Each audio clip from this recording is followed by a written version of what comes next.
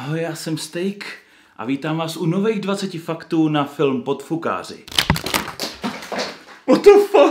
Všechny karty, které můžete vidět v tomhle filmu, jsou speciálně vytvořený luxusní balíčky, kterým se říká monarchové. Když herečka Isla Fisher natáčela scénu ve vodní nádrži, tak se herečka ve skutečnosti začala doopravdy topit. Za se jí totiž řetěz. Ale všichni filmaři na place si mysleli, že je to pouze součást natáčení, až na jednoho kaskadera, který ji naštěstí zachránil. Jelikož se jedná o kouzelnický film, tak na tomhle filmu nemohl spolupracovat nikdo jiný než David Copperfield. Herec Michael Caine strávil omylem jednu celou noc na place zamčený v šatně. Michael Caine už je přeci jen trošku pamětník, takže si řekl, že si trošku dáchne v šatně a neslyšel režisera, který řekl, že už je ukončený natáčení. No a všichni si mysleli, že Michael Caine už dávno odešel domů, tak celý plac zamkli. Ven se dostal až druhý den ráno. Film se původně neměl jmenovat Now You See Me nebo česky Podfukáři, ale Grand Illusion. Jesse Eisenberg, který tady hraje hlavní roli, jednou řekl, že pro něj bylo úplně nejtěžší se vyrovnat s tím,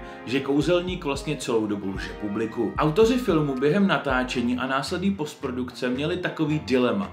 Nevěděli, jestli ve filmu mají opravdu ukázat, jak se některé triky dělají. Všichni herci se domluvili a podstoupili několika týdenní kurzy kouzelnictví. To znamená, že většinu těch klasických triků, který můžete vidět ve filmu, tak to nejsou počítačové triky, ale herci na kameru reálně kouzlej. Isla Fisher začala dokonce studovat starý kouzla Harryho Houdiniho. Jesse Eisenberg, který tady hraje Daniela, se dokonce rozhodl, že i po natáčení se bude dál věnovat magii a začal se učit další triky s kartama a mincema. Jesse Eisenberg se v tomhle filmu objevil díky tomu, že se režisérovi moc líbil jeho herecký výkon ve filmu Sociální síť. V původním scénáři byli všichni kouzelníci muži, až režisér se rozhodl, že tam chce obsadit i nějakou ženskou. Jak jsem tady mluvil o tom, že Michael Caine usnul v šatně, tak to nebyl jediný člověk zasažený spánkem. Morgan Freeman usnul přímo při rozhovoru, když se bavili s reportérem o tomhle filmu. Roli Michaela Atlase měli původně hrát Jim Carrey nebo Saša Baron Cohen. Když se na pódiu ukázali všichni čtyři kouzelníci neboli čtyři jezdci, tak každý výstup byl natočený trošku jiným stylem. A to podle toho, co přesně za kouzla umějí. Například scény s Woody Harrelsonem byly natáčeny dlouhým záběrem,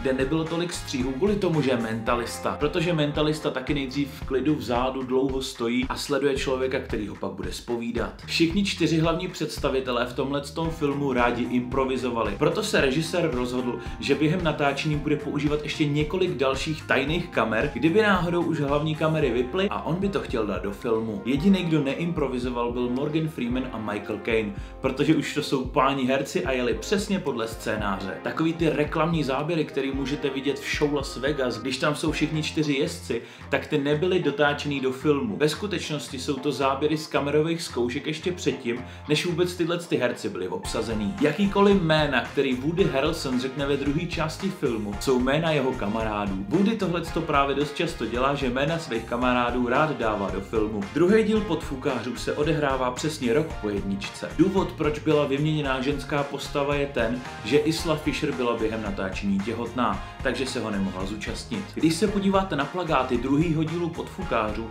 tak si můžete No, ale nemusíte všimnout toho, že tam jsou skrytý hádanky. A dobrá zpráva pro fanoušky tohohle filmu, trojka podfukářů už se natáčí. Já vám děkuji, že jste se podívali na tohleto video. Pokud byste chtěli moje tričko nebo třeba čepici, případně i další věci, tak se mrkněte určitě na Real Geek, odkaz je v popisku videa.